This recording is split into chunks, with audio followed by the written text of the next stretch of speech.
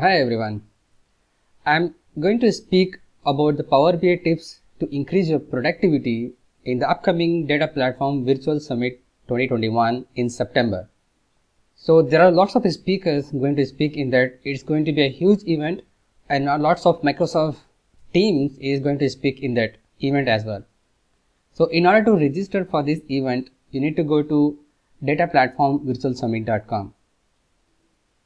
So this is not a free actually. So there are pre-con and post-cons also there.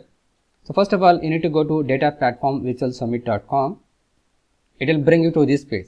So as you can see, the conference is between 13 to 18th of September and the pre-con is 8 and 9 September and the post-con is 21 and 21st September. So there are lots of high level people are speaking in this event and here is the one if you book a training class then you can get a summit free. So here is a glimpse of what you are going to get. For the training classes what do you get?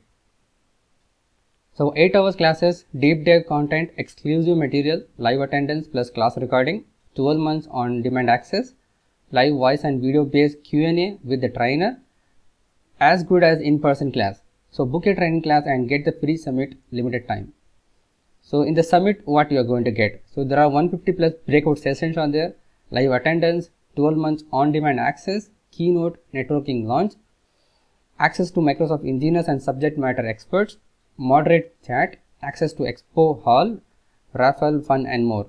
Summit is free if you book any one training classes. So get your complimentary summit pass. So participate in DPS 2021 lucky draw and stand a chance to win a full access summit pass each week. So the DPS team will announce multiple winners. You need to participate only once and you will automatically be included in the weekly lucky draw every time. So you can participate now.